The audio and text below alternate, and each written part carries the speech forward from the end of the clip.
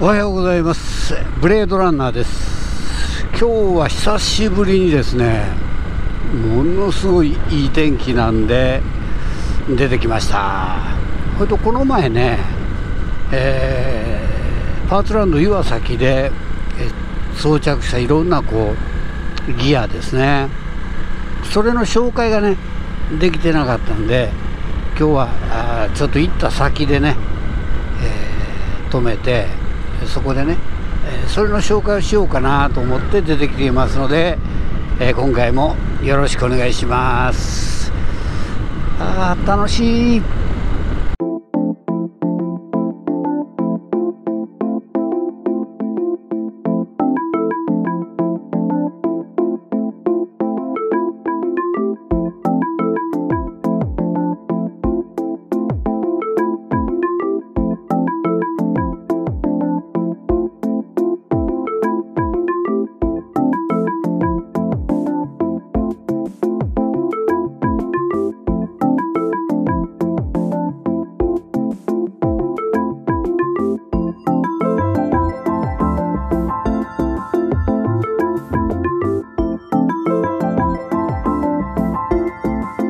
だいぶ高丸さんの方は雪は少なくなってるような気もするけどいやほうでもないか。右の方がねちょっと白くなってますね。もうだいぶ河津桜が終わりかけてますねここ。これはもう少し本当に早く来ればよかったな。横瀬を抜けて、えー、坂本の方に行こうとしています。勝浦町民体育館な。今日は本当に天気がいいんで、えー、楽しいですね。今坂本のこの坂を上がっていってますけどところどころでね、梅の花はもうそろそろ終わろうとしようかな。でもなんか次咲こうとしようもこれ桜かな。まだ桜は早いような気がするんやけどこう右の上にはね、えー、風力発電が今日は朝食もあってますね。ま先までやってきました。目の前に見えるのが高北山ですね。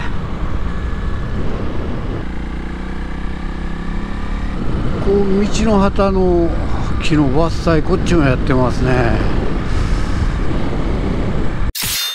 登録お願いします。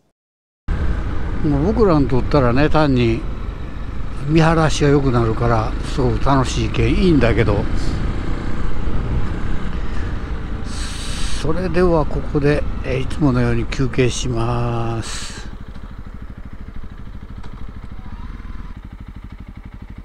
こんにちはあそれでは今からちょっとねこの前、えー、バイクに取り付けたギアを紹介したいと思います。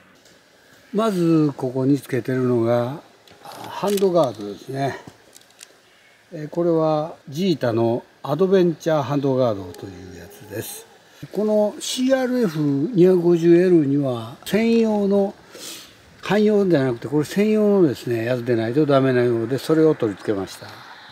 次に、えー、これがですねジータのピボットパーチ CP というクラッチレバーですね。これを取り付けました。ブレーキレバーが転倒で折れてしまったのでこの機械にと思ってもつけました。そして次にここに、えー、ついてるのがですねこれが前後ともあるデイトナの M760D というドライブレコーダーです。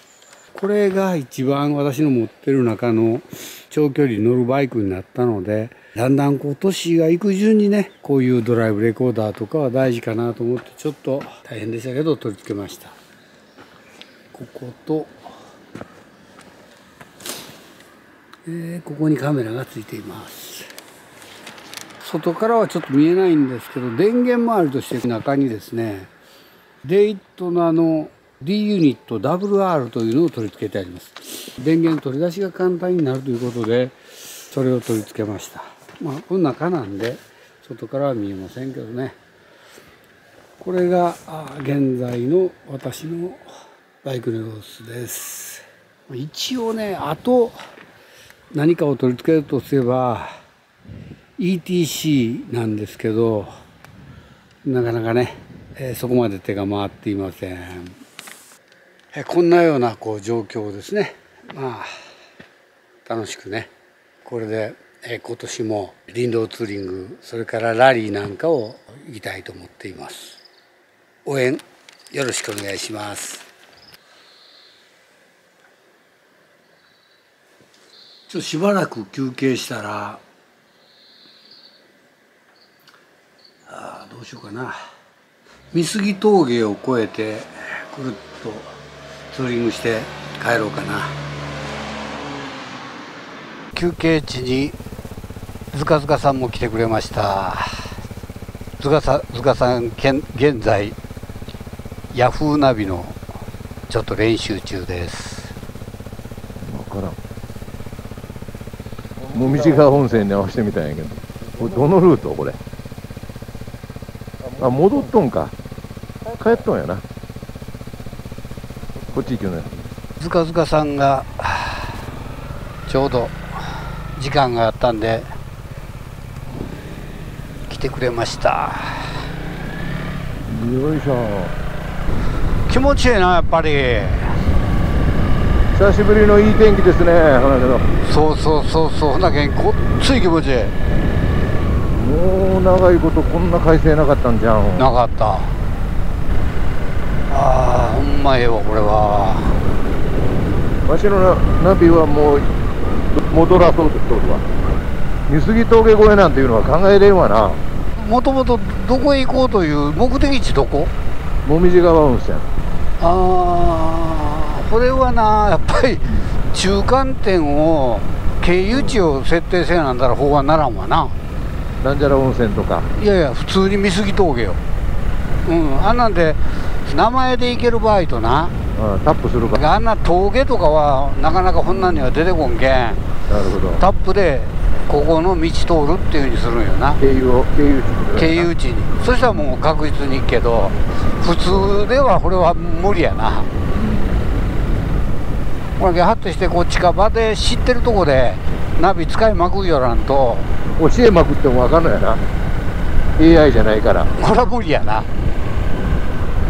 ほらけわしが前言うたであのナビが AI 化されたらな、うん、ごっつええなと思って、うん、こいつの行動パターンで選択しだしたらな。うんというかこの AI と会話するんよ、うん、例えば紅葉川温泉に美杉峠を通っていくとかどこどこ行くのにいい林道を経由していく方ところルートちょっと作ってみてとかな、うん、こんなんこう楽しいなとは思うとんやけど。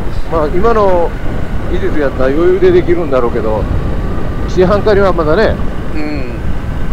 今日はですね美杉峠を越えてそういうツーリングをして帰ろうかなと思っています。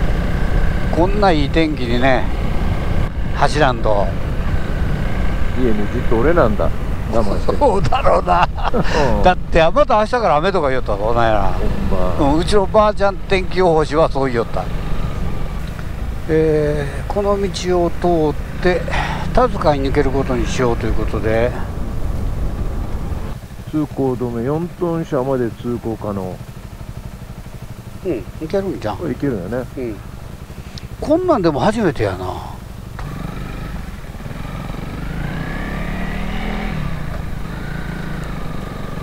これ林道の名前あったんやけどな。ちょっとわからんな。わしも実はな、うん、田塚の方からは何回も来とんやけどこっちから行くこれ初めてよ、うん、だから一緒に来たですか？覚えとらん。オフなったで。うん。ずっとオフよ。納得していただけると思うわ。ほんまですか？恐ろしいいやいや。恐ろしい。おお近かった。本当？これ当然上やね。うん、向こうもな林道なんや。へ別の林道。ほいであれもいたんですか？途中まで行った。途中からなこれは君と一緒に行かなんだらあれやなと思って途中でやめた。これええ練習になるんじゃん？これ面白いな。うんこんなぐらいの感じなんでしょ？大津さんも。そうそうそうそう。まさしくこんな感じ。こんなこんな感じでこうちょっと足出しながら行ってみたりしてねこそうそう。なんちゃってオフローダーっぽく。うそれよ問題は。なんちゃってが大事なんよ。なんも足タイミング合うてないのに出しとるわあの人って。うん。あの2は分かるだろうけどな。うんあーここが唯一綺麗なとこ。景色が。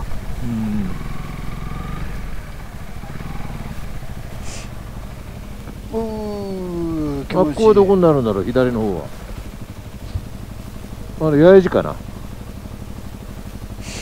あそこって赤い橋あるだうんうん。福原の役場とかあるとこちゃう、えー先ほどおちょっと作業されてる方が道の真ん中で休んでましたけど気持ちよくのけてくれました。すぐその向こうあたりでなうん。あの林道の名前書いてあるとこあるけどちょっとまあここで止まってくださいね。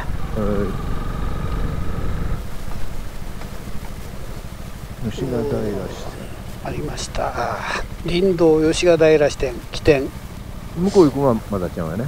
これなうん。すぐそこで終わりと思うよわし前行った時。まあ行ったんじゃ。いやーちょっと行ってみよう。前行ったんや行ったと思うとんやけどな。すぐそこでもう終わってたような気がするんやけど単にでかいバイクだったけんここでやめたんかもわからんけどわしここでやめた気がするな。こんなことないわ。あるわ。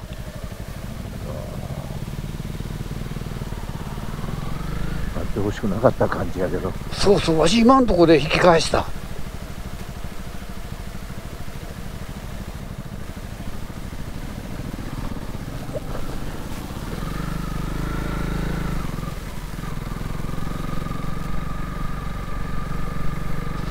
これが吉賀平線なんだろうか？こっちってわしないと思っとった。さっきのとこまで来たんよ。うん。ほんで引き返したんはでかいバイクだったけどやめただけだったんかもわからんほな。ほんであそこまでしかないと頭の中で思っとったんやけどな。こう君と来るとやっぱり違う道をし発見してしまうな。このバイクで来たけんちゃんおっきょいのって何で来たんテレンで来たん違うと思う。VFR のような気がする。その前の、VFR の来るとこじゃないな。これはほなけどね。うん、VFR でもテレンでもややめといた方がいいと思いますよ。うん、そうなんやけどあそこまで来てな。あもうこれはと思ってやめた記憶あるわよ。これはほなけど終わりそうな雰囲気ですよね。なんかこの上まで上がったらでもこれ綺麗な道やな。うん。様子が見えるとこに来ましたけどね。おー。これも冬限定やな。うまやな。ケツが滑って滑ってことない？いや、まあ、そこまでふかしとらんけんまああれやけど。うんでもなすごいね。すごいね。ちょっと不安を感じるよねこれは一人で来たら。これは一人では来たらいかんと思うな。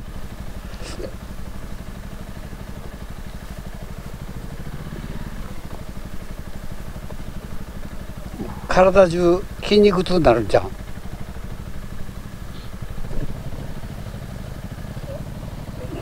いやよ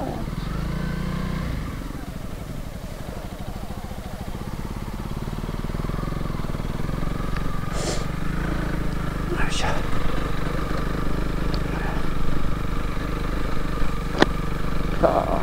ごいね。木の枝が当たった。ここまでやな。あそうか。なるほど。これはこれは上上がれんな。まあいけへんいけへん。ちょっとそこまで行って動画を撮るだけで。よろしくお願いします。これは上がれんわ。これはよ上がらんなわしやわ絶対無理上がれんイコール降りれんもんこれな。そこうあって。うん。いやーすごい。いうん。や絶ーなんかええな。景絶景やね。うん。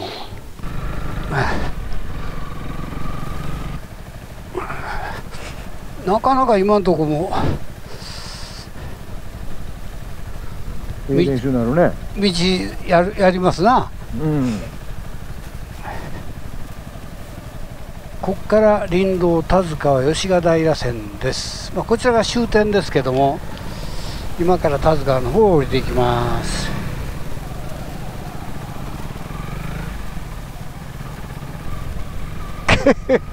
もう楽しかったな、うん。ちょうどよかったね。うん、ここまでも。あんまり荒れすぎて行き止まりもちょっと困る。うん、ちょうどえこれ雪がなくてええな。えうん。もうそろそろあれかな。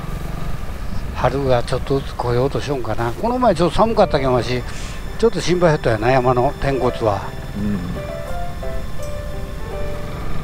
ちょっと雨も降ったでうんうん。山では雪かもと思っとったけん田塚は吉賀平線の起点まで降りてきました。なんかこの辺ってちょっと入っとうだけのによ。うん。なんか秘境に来とうみたいな感じあるもんなこれ。うまいね。だいぶ下まで降りてきました。ここにダムがあります。今日はですねこんな風にいい天気で、えー、塚塚さんと、まあ、途中から合流したんですけど一緒に、えー走ってきましたが思った以上にいいオフだったな。そうやね。まあこんなこと予想してなかったけど。そうそう。もう太陽が美味しくて我慢できなくなってちょっと出たつもりやったけどな。うん。ほんまに良かったわ。いいツーリングだったあほんでちょっと脇道それたとことかすごかったであの電波塔かなんかああはいはいあれな。あれ初めて行ったもん俺。はいということで、えー日々これからまたね天気良くなるんでいいツーリングができると思います、えーまたあ動画でお会いしましょう。それではさようなら。